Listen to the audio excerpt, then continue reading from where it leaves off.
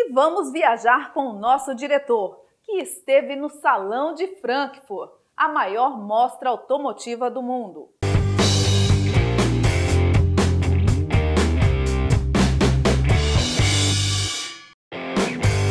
Vamos começar nosso giro pelo Salão de Frankfurt neste programa, mostrando algumas das super máquinas que marcaram presença na mostra alemã. Bom, agora a gente vai entrar no pavilhão 5, que eu considero um dos mais especiais aqui do salão. Só tem carro preparadíssimo, você vai ver cada máquina. Olha só, fica comigo que você não vai se arrepender, tá? Vamos lá? Nesse pavilhão estão as preparadoras de veículos que não economizaram para atrair a atenção dos jornalistas. Esse Bentley GTC conversível, com motor de 1.001 cavalos, foi uma das máquinas expostas. Com parte da carroceria em fibra de carbono, foi preparado pela Mansuri. O interior é todo em couro laranja, com detalhes em madeira nobre. Ao lado dele, outro supercarro, um Rolls-Royce Wright, com carroceria pintada em azul laqueado e fibra de carbono, um carro único no mundo. O interior acompanha todo o luxo da carroceria.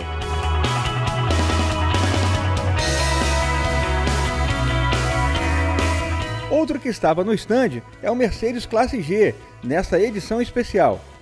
A carroceria é pintada em tinta que imita fibra de carbono. As rodas de 22 polegadas com pneus de perfil baixo e motor de 840 cavalos deixam claro que sua vocação é a velocidade.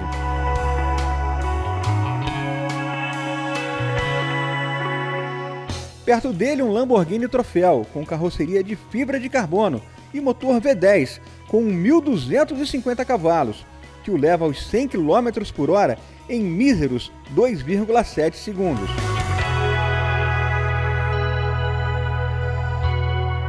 Outro que chamou a atenção foi essa Range Rover Vogue, transformada em uma picape cabine dupla. De gosto duvidoso, também atraiu olhares curiosos.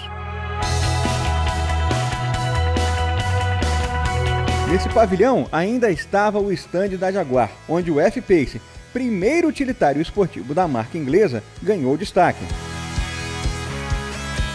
Ele chega ao Brasil no ano que vem. Serão três motorizações, uma 2.0 turbo diesel de 180 cavalos, uma 3.0 V6 a gasolina de 340 e a mais forte, uma 3.0 V6 a gasolina de 380 cavalos.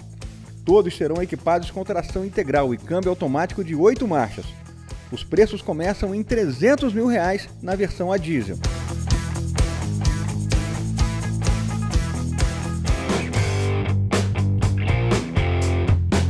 Qualquer salão do mundo, a Ferrari é sempre uma atração. Ainda mais se for uma novidade. Essa aqui é a nova 488 Spider, o lançamento aqui em Frankfurt. Essa máquina é o conversível mais nervoso já feito pela marca.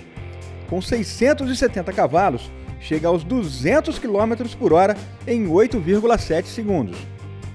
A Ferrari 488 Spider possui um teto rígido retrátil de vidro, com três ajustes de posição, a montadora também revelou que o chassi do super esportivo é composto de 11 tipos de alumínios diferentes, combinados com outros metais, como o magnésio. A Bugatti decidiu levar seu carro virtual do game Gran Turismo 6 para Frankfurt. O modelo foi projetado para antecipar o visual do sucessor do Bugatti Veyron.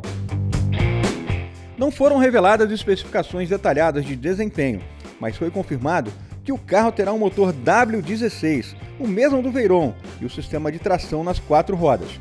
A montadora também revelou que o carro pode atingir velocidades superiores a 400 km por hora. Na semana que vem continuaremos a mostrar os carros que foram destaques aqui em Frankfurt.